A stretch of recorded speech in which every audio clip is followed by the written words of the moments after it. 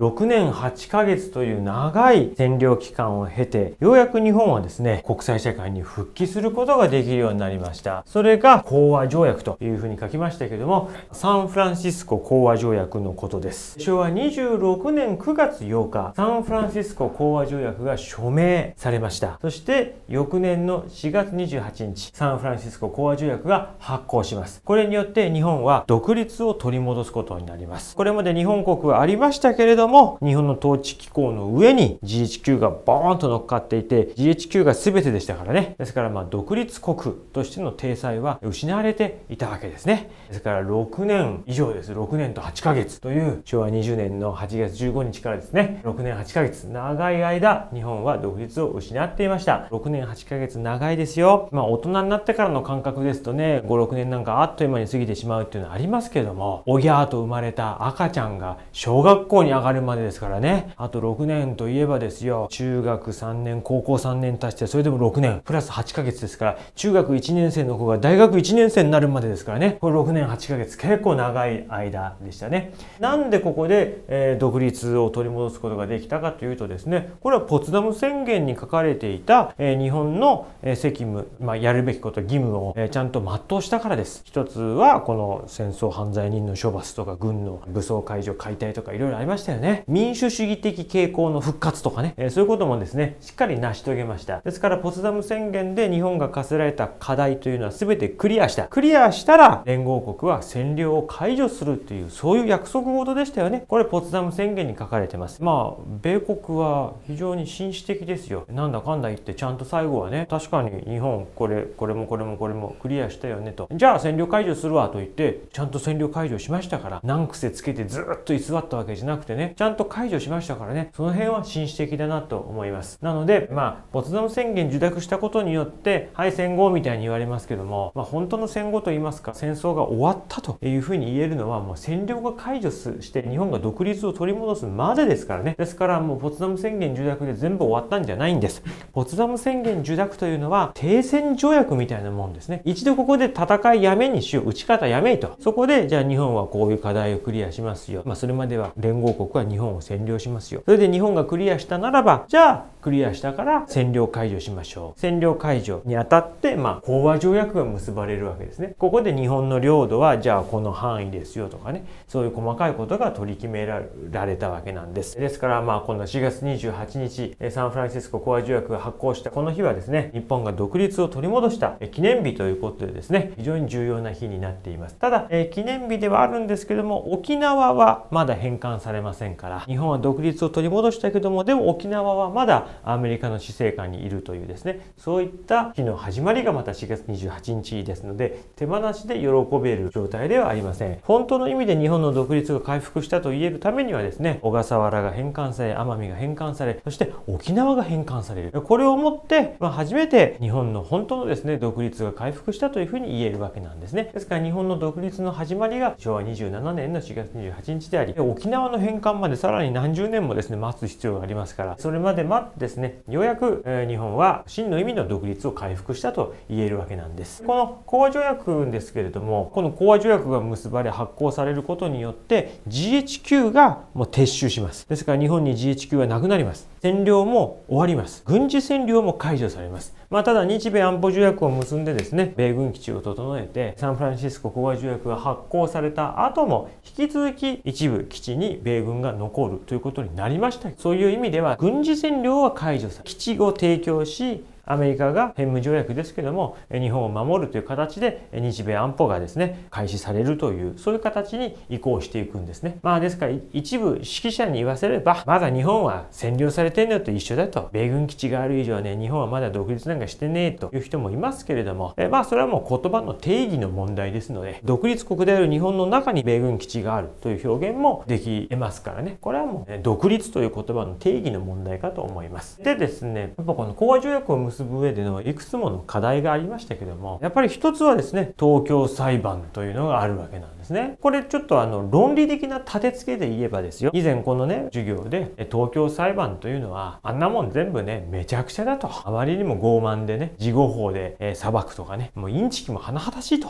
あんなもん認められるかというような趣旨のことを言いましたよね。多分この番組を見てる人とか保守の被害を持ってる多くの人はそうだそうだという気持ちで見てくれたと思うんですけれどもただ立て付けとしてはですね東京裁判なんかあんなもんおかしいという簡単な一言ではなかなか済まない問題があるんです。なぜかというと東京裁判を受け入れたから講和条約を結べたんですよ。これ条件だもん。戦争犯罪人を裁くっていうのがポツダム宣言に書かれていて、それをやったわけですよ。やり方めちゃくちゃでしたけども、とりあえずやったんですね。これが講和条約を結ぶ条件だったんですね。日本は独立を取り戻した。そして今日本は独立国であるがゆえにですね、自由であり、そして国もこれだけ発達しましたよね。今、日本の人口1億2000万人ですけども、今の日本人は、やっぱこの講和条約を結んだことによって、日本が独立したことによるこの恩恵を受けてますよね。なんで日本が独立できたかといったら、文学的に言えば、みそぎが晴れたということでしょうか。だって日本は悪の権下と言われたんですね。全部日本のせいだと言われたわけです。アメリカ人のほとんどは日本人を憎んでたわけですね。その日本が国際社会に復帰し、アメリカとも国交を持ち、仲良しになったわけですけども、なんであんなにアメリカ人が憎み、天皇処刑制とか言ってたわけですよ。その日本がアメリカとこれほど付き合えるようになったのは何ですかと言ったら、ある儀式をしたからなんですね。それが東京裁判なんですよ。東京裁判によって戦争犯罪人を全部あぶり出して、一部は不起訴になりました。一部は起訴されました。起訴されてね、まあ裁判によって、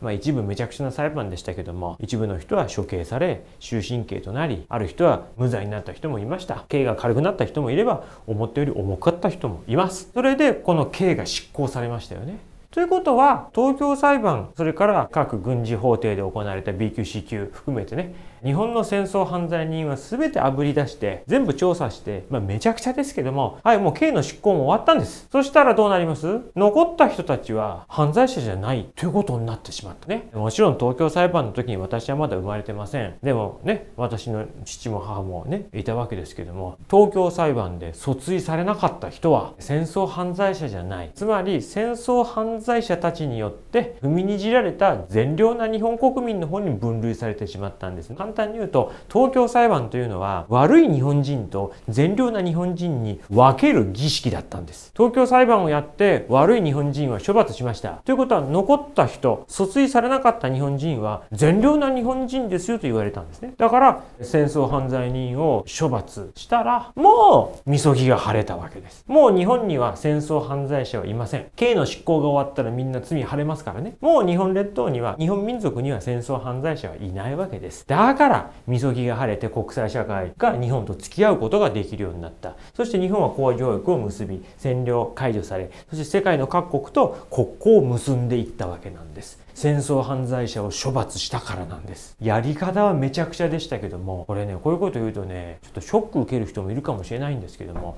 東京裁判認める認めない好き嫌いに関係なく現代日本人は東京裁判の恩恵を受けてしまってるんです。はい。好き嫌いに関係なくね、俺は認めないって言ってたって恩恵を受けちゃってるんですね。東京裁判を経たことによって日本は独立しましたから、独立国である日本の恩恵を受けているっていうことはそういうことになります。だからこれはね、後味の悪い話なんですよ。東条英機の裁判見て、なんだめちゃくちゃだ、こんなもん認められるかっていうのは簡単なんだけども、それを言ってる私たちが 東京裁判により利益を受けちゃってるんですね。だからこそ東条英機が立派なんですよ。日本中の罪汚れを全部自ら背負い、自ら処刑されることによって日本中の罪を晴らしていったわけですね。だから天皇には責任はないということになって、一国家の国家元首として世界に認められたわけですから。あれ戦争犯罪者と言われた人たちが全部背負って処刑されてくれたおかげですよ。それで残りの人たちは何の罪もない善良な日本人と分類されたんです。昭和天皇もしかり、もちろん私もしかりです。当時生まれてないにせよそういうことですよ。だからこれはね、後味の悪い話なんです。まあだから戦争に負けるっていうのはそういうことなんですね。だからよくね、ほら保守の人で東京裁判をめちゃくちゃ言ってこんなもん認められないって私ももちろん同じように言ってるんですけども、そう単純じゃないということもまたしかりなんですね。独立を果たしたということは、そういう本来認めたくないものも認めたわけです。本来日本のせいじゃないもの、ああ、いい、そうです、そうです、もう全部日本のせいですっていうことにしたんですよね。まあそんなわけでですね、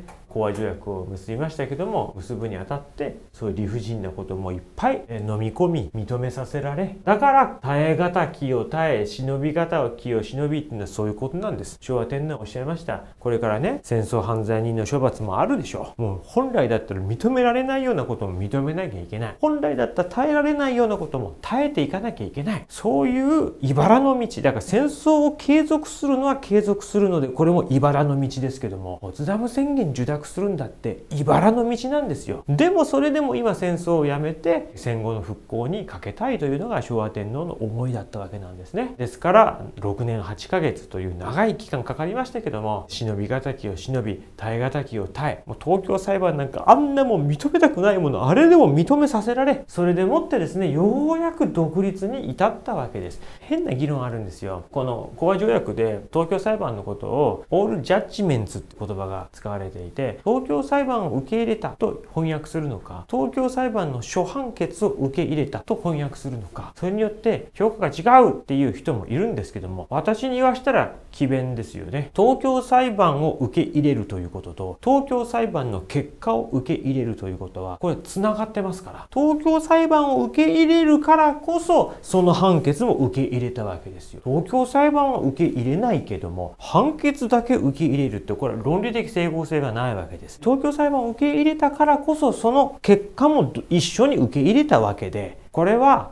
オールジャッジメンツという元の英語を東京裁判と訳すのかその初判決と訳すのかどっちに訳しても私は同じだと思ってます。だから初判決を受け入れたのであって東京裁判そのものを受け入れてないっていう人いるんですけども絶対論理的におかしいと思うんですよ。そんなんで自尊心持って何になるんですか？耐え難きを耐えですよ。それがですね占領下の日本人だったんじゃないんですか？それによって罪が晴れ今国際社会の一員として日本がいるんです。ですからこの講和条約結ぶっていうと国際社会復帰やったみたいなイメージがあるんですけどもここに行く過程にはそれこそ十一宮家も廃絶させられたし農地解放もさせられた、まあ、あらゆるとんでもないめちゃくちゃな目にあってですよ。東條英機も殺されましたし皇室だって虐げられ憲法だって変えさせられめちゃくちゃなことされてよく耐えたなって話ですよ。じゃあ約束通り独立させてやるとよ。でも GHQ がやってきたあらゆるほとんどいじめみたいなもんですよ。よく耐えましたよね。耐え抜いて耐え抜いて耐え抜いた。忍び難きを忍んだ結果が講和条約なんです。途中で根を上げてこんなもん認められるかとかねやっちゃったらここまでいかなかったんだから涙を飲んで東京裁判やったじゃないですかこれからですよ日本がね元の日本に立ち戻っていくのはですね。武田恒康チャンネルの切り抜きチャンネルをご視聴くださいまして誠にありがとうございました、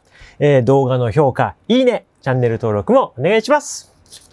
え本家武田恒康チャンネルでは毎週木曜日夜8時、え日々の新聞から話題のニュースを取り上げ、わかりやすく解説する番組をライブにて配信しています。よろしければ生放送も見に来てくださいね。